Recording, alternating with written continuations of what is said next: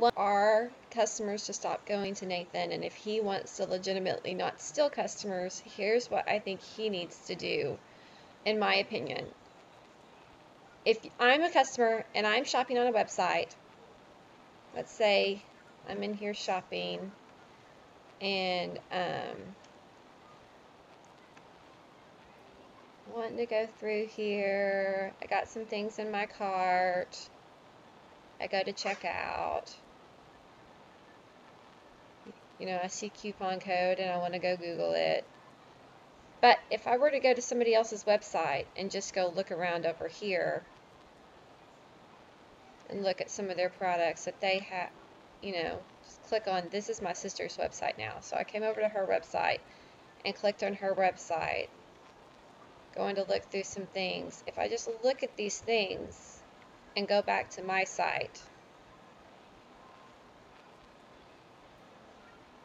I am still their enroller.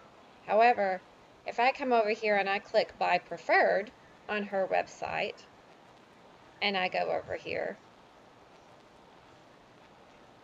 she is now the enroller. So the clicking the Buy Preferred or the Buy Retail tends to be what triggers the change in ambassador number. Which, if you go and Google Plexus coupon code,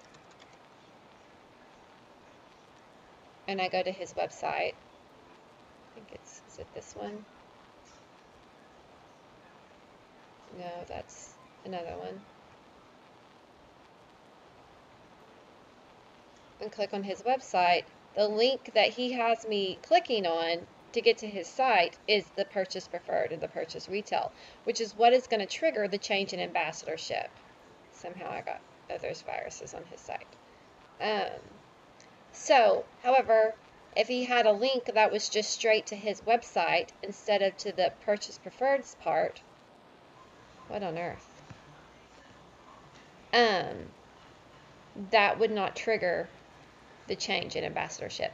So if he wants to legitimately change his site to not tick off every other ambassador in the company, he needs to change how that is being redirected so that he's not stealing customers.